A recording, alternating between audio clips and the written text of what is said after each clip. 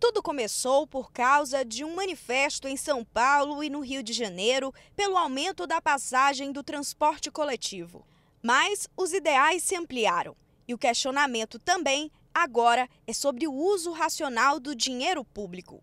Foram mais de 100 mil pessoas reunidas nas principais avenidas de várias capitais brasileiras os 33 bilhões de reais investidos nos estádios para a Copa do Mundo, que deve acontecer no Brasil em 2014, e a rapidez na execução das obras levantaram inúmeras discussões no país. Acho que é importante o brasileiro se manifestar agora?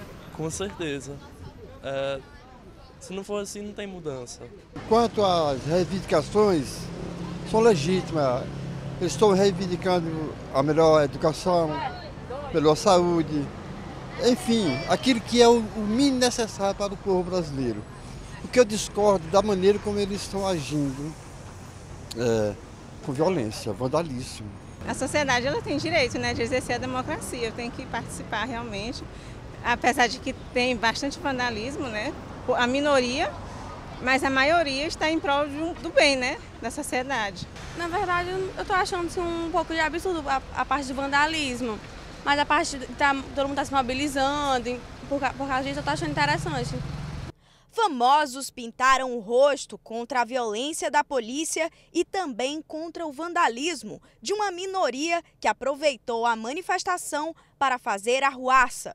Mas as redes sociais estão repletas de protestos pacíficos sobre a corrupção e a falta de investimentos em educação, saúde, segurança e os bens básicos de uma sociedade. Eu acho bem bacana você protestar, você manifestar, acho isso válido. Eu acredito que é o momento, está oportuno para reivindicar, né?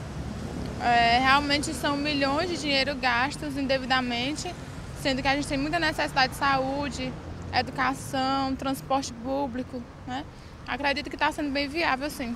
Pensar e realizar sob o ponto de vista comunitário e da justiça social.